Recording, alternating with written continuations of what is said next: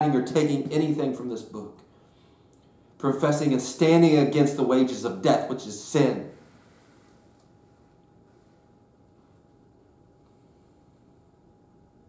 Don't be deceived, folks. God will not be mocked. He is the same yesterday, today, and forever. You must repent and turn to the one true living God, or you will not inherit the kingdom of heaven. Do not be deceived.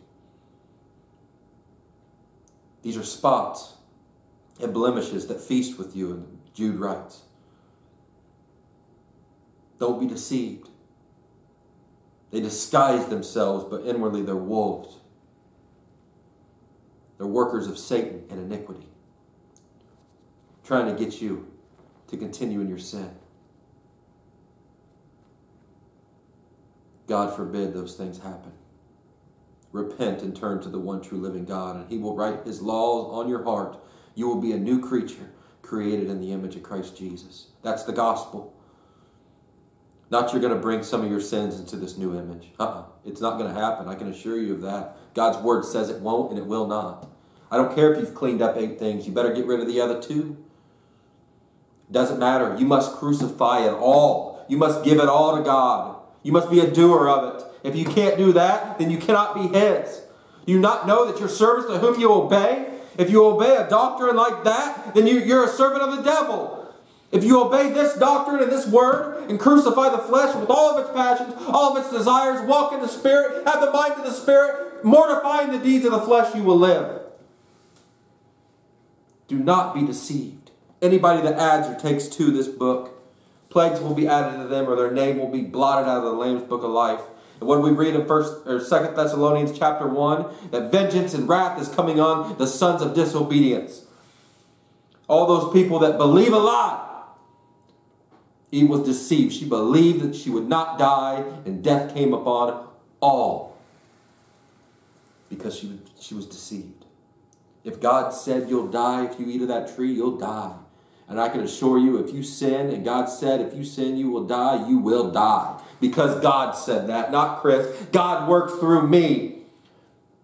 Christ lives in me, and I can only speak what He said is true with the armor of God on. Hallelujah. He which testified these things saith, Surely I come quickly. Amen. Even so come, Lord Jesus. Turn to 1 Peter chapter 5. We're going to look at verse 4. And then I'm going to finish, guys. We're running a race. Endurance, guys. Endurance is the key. You need the armor. You're going to go through affliction, distress, trial, tribulation. But let these words edify you. These things are happening for a reason. My health has just took a haywire here lately. It's all for a reason. God does all things for the good. All things. Verse 4. What are we doing? We're running a race. When you run a race, you're going to receive a crown if you finish the race. Trophy. Let these words edify you. And when the chief shepherd shall appear, this verse 4 chapter 5, ye shall receive a crown of glory that fadeth not away. Hallelujah. Hallelujah. It will never fade. Likewise, ye younger, submit yourselves unto the elder. Yea, all of you be subject one to another, and be clothed with humility, for God resisteth the proud, giveth grace to the humble. Can you humble yourself and submit that God's ways are true, and that your old ways are not? Humble yourselves, therefore, under the mighty hand of God, that he may exalt you in due time. Casting all your care upon him, for he careth for you. Be sober. You know, if you're a drunkard, you're not sober. If you're putting toxins into your body, or if you're gambling, or if, or if you're pleasing your flesh, you're not sober. That's not spiritual. Sober means to be spiritual. It doesn't mean just, that means to completely be spiritual. Take that old mind out and crucify that old mind and that heart and everything of that old man, killing. And let spiritually be born again into the new man created in Christ. Be sober. That's what that means. Be vigilant. Because your adversary, the devil, is a roaring lion, walketh about seeking whom he may devour. He wants your soul.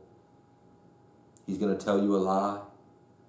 He's going to deceive you into believing that you can still, nobody's perfect. What this guy said, nobody's perfect. Paul's not perfect. He's still a sinner. Writing this, you got to be kidding me. Why would Paul tell people to repent, quit sinning, depart from sin? Why would Paul preach with unction and authority everywhere he went on missionary trips? Why would Paul say that if you live in the flesh, you will die? And that this author, this whoever's writing these footnotes, says that Paul's a sinner. You talk about hypocrisy. That's what Satan does. That's what he's still doing today. And that's what he's always going to do until God destroys him in the lake of fire that burneth forever. Hallelujah to the Lamb of God. Christ has already destroyed him.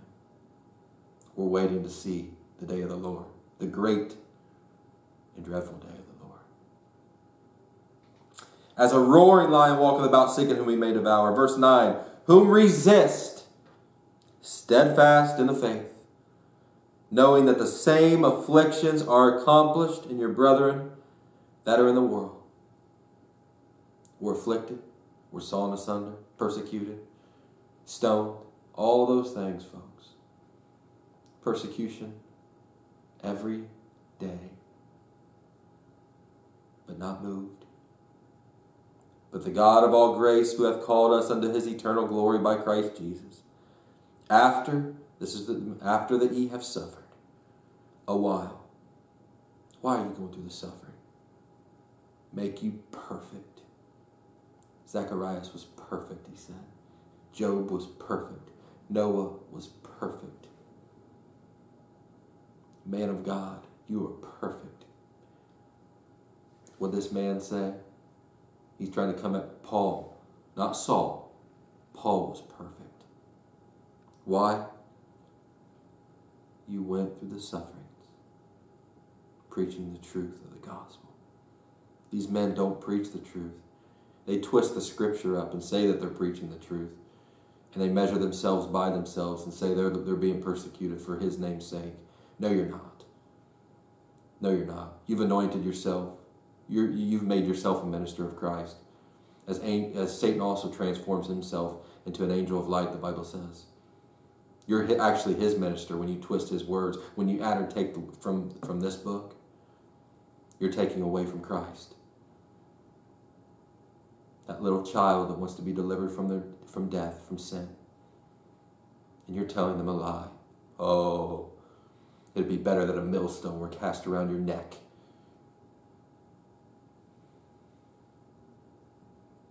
Woe unto those individuals that do those things.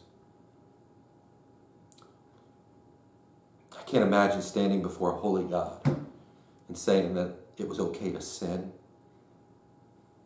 Are you kidding me? You think a holy and righteous God that, that ordered John the Baptist to say, repent?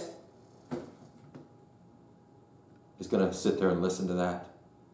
Or do you think he's going to say, Depart from me, you worker of iniquity, sin? I never knew you. Oh, but I cast out demons in your name, and I spoke your name, and I did all these things in your name. I never knew you. You took away from my book. You added, you added words to my book. You remember my child that came in and they wanted to be delivered? and you prevented them. You told them lies and doctrines of devils. You remember that? Let me, let me replay it for you. Where the worm will never die. You know that worm's going to be like a replay button for all those false prophets and teachers that continue to speak lies with false signs and wonders and divinations.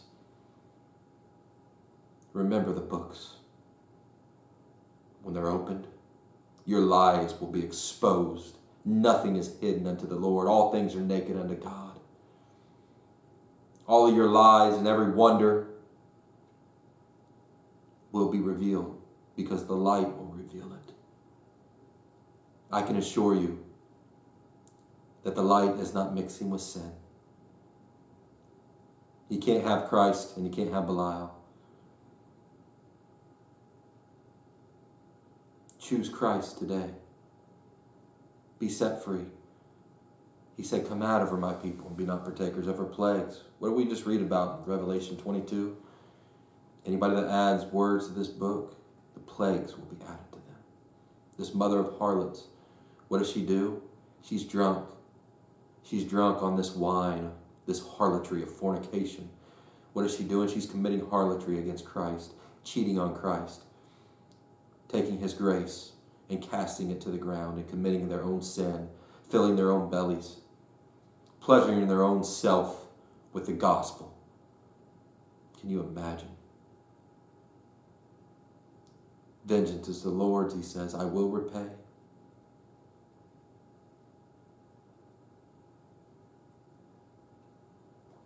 I want to read verse 10. We're running a race, guys. Blameless, holy unto the Lord, crucifying the flesh, walking with Christ. Verse 10 But the God of all grace, who hath called us unto his eternal glory by Christ Jesus, after you have suffered a while, make you perfect, establish, strengthen, settle you. Don't curse God because you're going through a suffering. Rejoice. God is doing a work in you. You don't know it yet. But I can tell you it's going to strengthen, settle you, and it's going to make you perfect. To him be glory and dominion forever and ever. Amen.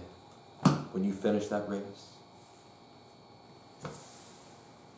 you're going to receive a crown that fadeth not away forever and ever and ever. There's not going to be any rust or moth that corrupts that crown. There's not going to be any enemies of the cross of Christ take away your crown. Nothing, Paul says in Romans chapter 8, nothing will separate me from the love of Christ. Nothing. The suffering is only going to strengthen you. It's only going to make you stronger. It's going to settle you.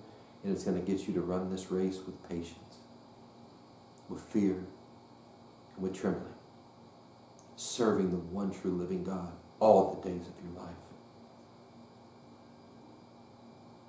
Not being a proclaimer of the word, but a doer of the word. Living holy unto God his statutes and in his covenant. I know these are strong words, guys, but we're to run this race with patience and faith. Bible in says, save some with compassion, save some with fear. However you took this word. It's God's word. His word doesn't go out vain. Let it go forth through the sound waves. It's what God wanted me to say. And I'm just doing what my duty is to do, a servant to the Lord. I'm running a race. I'm striving for that prize in Christ Jesus, that incorruptible crown. And I can assure you, nothing will separate me from the love of Christ. I will not be persuaded by false doctrine, by false teachers and preachers. I will crucify the flesh and I will follow Jesus Christ. I will do his will and drink the cup that he's given me to drink and be baptized with the baptism that he was baptized with. That's my duty to do. That's what I've been called to do. We all have a calling.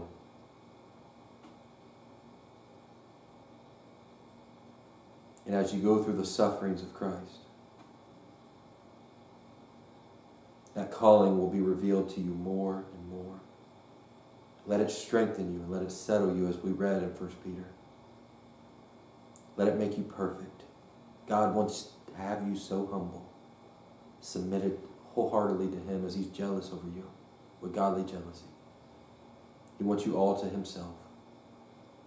You're His child, and He loves you. He's establishing, He's putting roots in you, He's settling you. He's doing a work in you that only the power of God through the Holy Spirit can do. So, that's all we have for today, guys. I thank you all for tuning in. I hope this message edifies and exhorts and strengthens you guys. As we just read, let it strengthen you. Don't let the persecution hinder you, but let it do something deep within you, strengthening you. All, all that name his name that live for Christ will be afflicted, will be persecuted. Your token of manifestation is to stay strong. Don't be hindered. Don't envy what the world has. Don't envy what the false doctrine has or the false teachers and preachers. Who cares? Who cares if they have big churches or, or their churches of their own? It doesn't matter. All that matters is doing the will of the Father. I'm going to pray. Heavenly Father, I thank you, Lord, for your word that you've given. I pray, Father, that it continues to work through me, strengthening me, settling me as well as the people that are listening to it. Let hearts be open to what you have to say. Let me always do your will, Lord Jesus. Submitting my whole life to you daily, never forgetting about you or your word. Always, always maintaining that special relationship in the closet. I pray that they have a special relationship with you that they seek you, that they draw nigh to you as you will draw nigh to them. Strengthen your body, Lord. Settle your body, establish your body. Perfect your body as a chaste virgin. We can do all things through Christ who strengthens us. Be strong, body of Christ, in the power of the Lord. Quench every fiery dart of the devil through your word through the armor of God. Be perfect as your Father in heaven is perfect. Awake to righteousness and depart from iniquity. Be strong and a good soldier in the Lord Jesus Christ. A good soldier is not entangled with the affairs of this life. He's an overcomer and he separates himself so that he's not a partaker of her plagues. Lord, I thank you and I praise you so much for your word. May it edify your body, strengthen your body. May people, may your true body come into this body. May anybody that is thinking or coming in, may they just come in. Be a doer of the word. Stop being a trier and be a doer. Let them hold nigh to the head, grab hold of the head and never let go. I pray for them that their hearts are opened that you come in and magnify yourself. Give the increase, Father, like only you can. I love you, Jesus, with all of my heart and soul. I give you praise because you're worthy. You're more than worthy. We are conquerors through you who loved us. I love you, Jesus. And I thank you with all my heart. In Jesus' name, amen. God bless each and every one of you. Continue to tune in. In Jesus' name, guys. Amen.